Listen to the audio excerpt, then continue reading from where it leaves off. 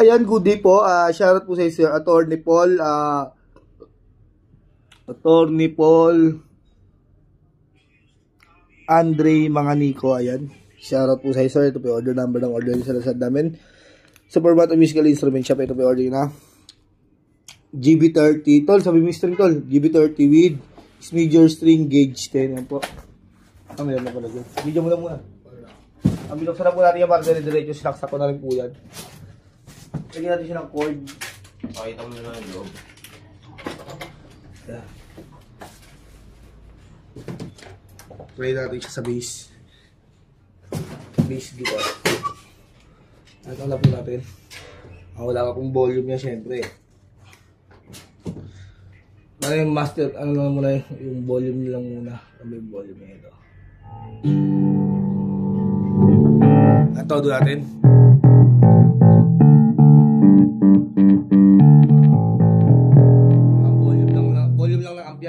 Ihap lang natin. Lagyan natin siya ng bass. Hap lang din. Todo natin bass. Gumagana rin. Patayin natin, lagyan natin ng middle. Todo natin.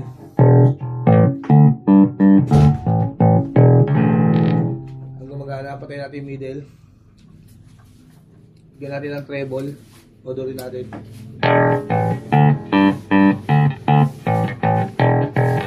Ayan. Gumagana rin. Try natin magsama-samahin. Dosi-dosi lang.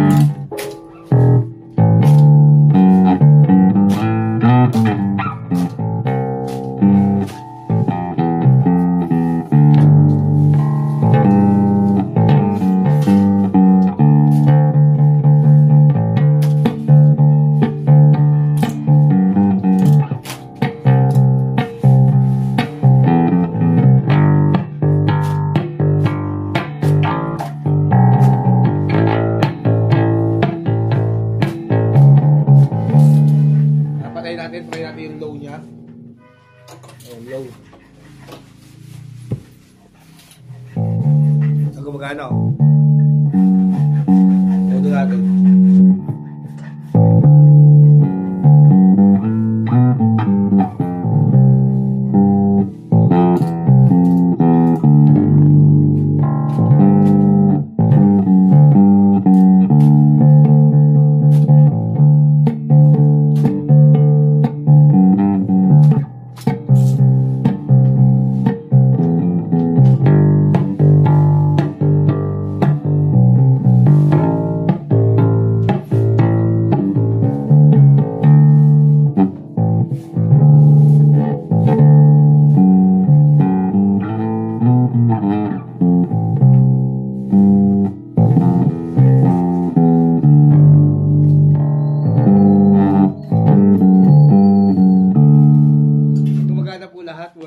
lahat. Hanggang dyan lang po muna natin demo. Balutin na natin yan.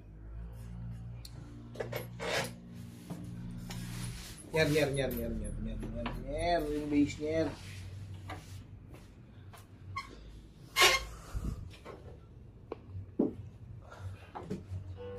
Pinutin ko lang po.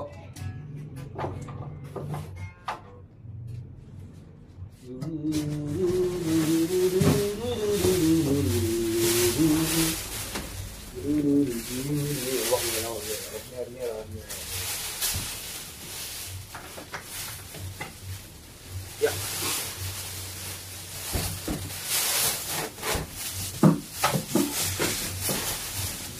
Wala pa din.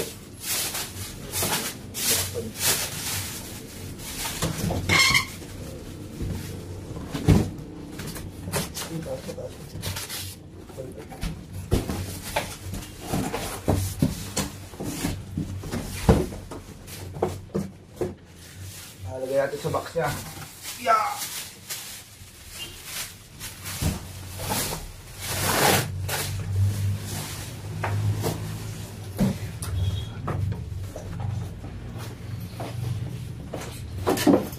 Bigyan po namin kayo ng Permata sticker head. Paano nila sa amin yan? Oo. Yan. Tapos lagyan na rin po natin, lagyan na rin po natin sa loob niya yung string na in-order nyo, is bigger string gauge 10 yan po. Lagyan natin sa loob.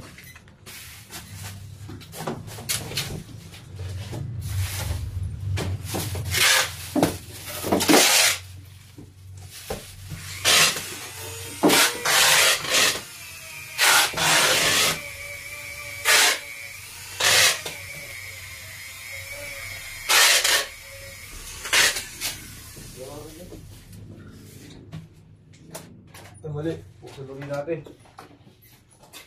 Hindi mo nalagay yung mga pong. Sa karton niya.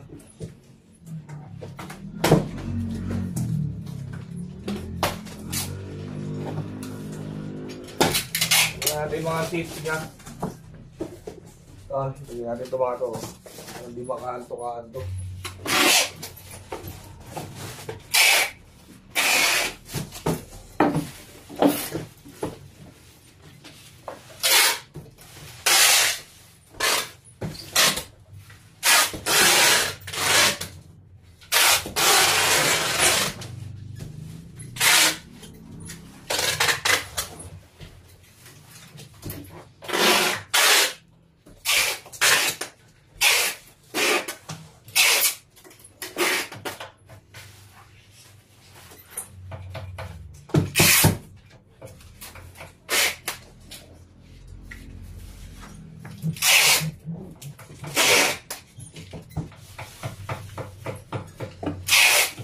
Yan, silyado na po yung babaw niyan.